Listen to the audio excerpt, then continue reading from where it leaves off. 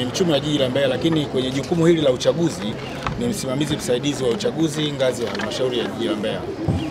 Uh, nimeona nizungumze nanyi leo kwa ajili ya jambo moja tu. Tunaendesha zoezi la mafunzo ya uchaguzi wa serikali za mitaa katika jiji la Mbeya ambao unafanyika hapa katika ukumbi wa Mkapa. Uh, jambo hili tumeona ni vyema tuzungumze nanyi ndugu zetu waandishi wa habari ili twende pamoja kwa ajili ya kutoa elimu ya kutosha kwenye maeneo haya ya uchaguzi wa serikali za mitaa ambao ndio nguzo kuu katika nchi yetu. Sasa kuna mambo kadhaa ambayo ningependa kuyazungumza ili kila mmoja wetu aweze kuyafahamu na hata wananchi pia wa jiji la Mbeya waweze kuyafahamu. Katika jiji la Mbeya tunazo tarafa mbili kwa maana ya tarafa ya Iunga na Simba, lakini katika tarafa hizi zetu mbili tunazo kata 36 na katika kata zetu hizi 36 tunayo mitaa 181. Sasa hapa kwenye mitaa 181 ndiyo uchaguzi huu unaenda kufanyika kwenye maeneo ya mitaa hiyo 181. Sasa kutakuwa na vituo kadhaa vya, ku, vya kujiandikishia na kupigia kura, na mpaka sasa vituo vya kujiandikishia na kupigia kura vilivyoainishwa vitakavyotumika ni mia mbili na kumi na kwenye vituo hivi watakavyojiandikishia ndivyo vitakavyotumika kupigia kura, na kama kutakuwa na nyongeza kwenye maeneo husika, taarifa hizi zitatolewa na nyie pia waandishi wa habari mtajulishwa, ili taarifa ziende kwa wote wanaohusika. Tunayafanya haya kuondoa usumbufu katika maeneo mbalimbali, isionekane mtu amejiandikisha kwenye kituo A akaenda kupiga kura kwenye kituo B. Usumbufu huu kwenye jiji la Mbeya tumesema usiwepo, badala yake tumeona tuende sasa kwenye kila kituo atakachojiandikisha mpiga kura ndicho atakachotumia kupigia kura siku ya kupiga kura tarehe 27 mwezi Novemba. Sasa katika jambo hili tumeona na nyie ndugu zetu mtusaidie kueneza elimu hii kwa wote, ili mmoja asije akaona usumbufu kwenda akafikiri kwamba akijiandikisha kituo A anaenda kupiga kura kwenye kituo B. Sasa tukifanya kwa pamoja tutafanikisha lengo letu halisi. Hilo la kwanza. Jambo la pili ni kwa wahusika. Wahusika ni wananchi wote. Ziko sifa zinazohusika kwa, kwa mpiga kura, ziko zinazohusika kwa wale wanaotakiwa kugombea. Sitatumia muda mwingi kama kutoa semina, isipokuwa yako mambo ya msingi ningependa kuyazungumza. Kwa wale wapiga kura kuanzia miaka 18 watu hawa wataruhusiwa kupiga kura na wawe wakazi wa maeneo hayo husika kwenye eneo linalotakiwa kupiga kura na kuchagua katika maeneo husika. Maeneo haya ni muhimu sana kuzingatiwa, lakini tukija na kwenye hao, swala la kwenda kujiandikisha, hautaki kujulikana wewe unatoka kwenye chama gani. Swala ni kwamba wewe ni mkazi kwenye eneo hilo na una umri wa miaka 18 na una zile sifa za upigaji kupiga kura, utaenda kujiandikisha ili uweze kupiga kura. Lakini ziko sifa zingine sasa kwenye eneo la wagombea, na hili ni jambo muhimu sana, tulizungumza na wenzetu, tulieneze, tuepuke upotoshaji kwa baadhi ya watu ambao wanaweza kutengeneza upotoshaji ambao hauna msingi.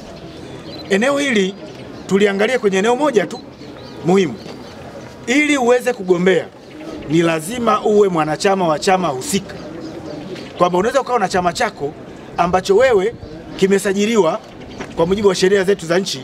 Sasa kama chama kile kimesajiliwa na umedhaminiwa na chama hicho na umepata barua yake ambayo itawasilishwa kwa msimamizi msaidizi wa uchaguzi kwenye eneo husika, wewe utakuwa unaruhusiwa kugombea. Na kwa maana hiyo, wanachama wa vyama vyote vya siasa wanaruhusiwa kuanzia miaka 21 wanaruhusiwa kugombea nafasi za uchaguzi kwenye maeneo haya, waende wakagombee ili iwasaidie kugombea na kuwakilisha katika mitaa yao, ili waweze sasa kuwa viongozi na kuendesha maisha ya, ya wananchi katika maeneo yale kwa ajili ya kutengeneza maendeleo ya namna uchaguzi utakavyofanyika, lakini pia tutawapa maelekezo katika kanuni zinazosimamia uchaguzi huu. Kama unavyofahamu, uchaguzi huu unaendeshwa kwa mujibu wa kanuni za uchaguzi.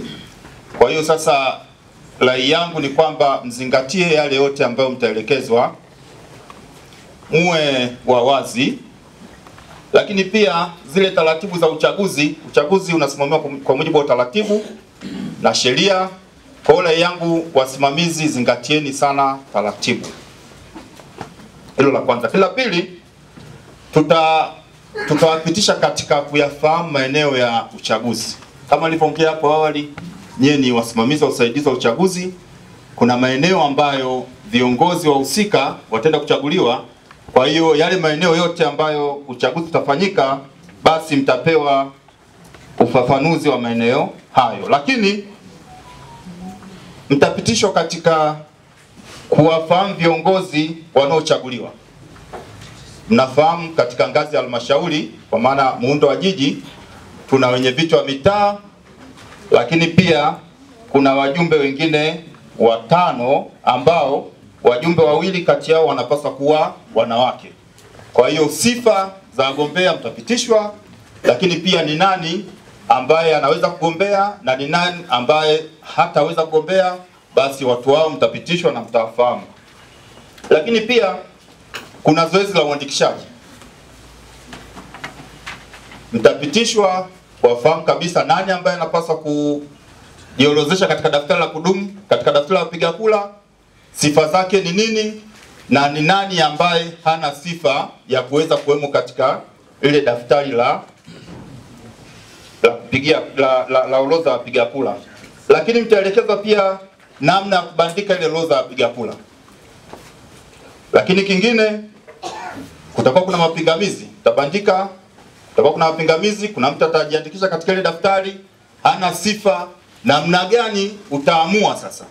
Mtu kashajielezesha, ameshabandika pale, lakini kwa bahati mbaya, bahati nzuri, hana sifa ya kupiga au ya kuorodheshwa katika ile daftari. Kwa hiyo mtajua ni nani ambaye ana sifa ya kuwemo katika ile daftari na ni nani ambaye hana sifa ya kuwemo katika daftari. Lakini kingine wakufunzi hapa au watoa mada wataelezea kuhusu utoaji na urejeshaji wa fomu kwa wagombea. Mara baada ya daftari kubandikwa, kutakuwa kuna zoezi la kutoa na kuchukua fomu kwa wagombea. Sasa fomu zitakuwaje? Nani atachukua? Muda wa kuchukua na muda wa kurejesha, basi hayo yote yatatolewa ufafanuzi. Lakini cha mwisho sasa ni kufahamu zoezi la upigaji kura. Kama nilivyoongea hapo awali, mnamo tarehe 27 mwezi Novemba ndio siku ya uchaguzi. Kwa hiyo sasa ule utaratibu wa kupiga kura, kura zinatakiwa ziweje, basi mtafafanuliwa na mtajua namna bora ya kupiga kula. Rai yangu kama nilivyoongea kwa awali, naombeni sana zingatieni taratibu. Uchaguzi huu unaendeshwa kwa mujibu wa kanuni, katiba na sheria. Kwa hiyo naombeni sana wasimamizi wasaidizi wa uchaguzi, jitahidini sana kuzisoma, kuzielewa, lakini pia kama kuna changamoto yoyote, basi usisite kuwasiliana na msimamizi wa uchaguzi ili aweze kutoa ufafanuzi wa nini cha kufanya.